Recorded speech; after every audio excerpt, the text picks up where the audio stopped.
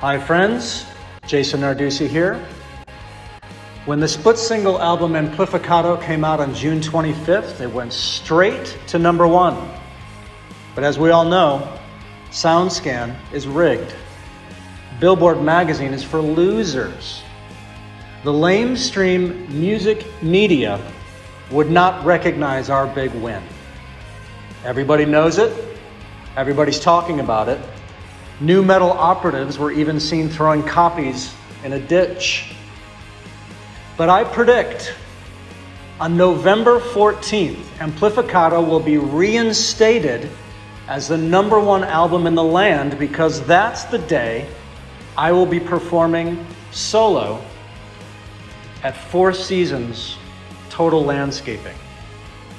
Come rock out with other patriots. This album deserves lawn and order. Thank you.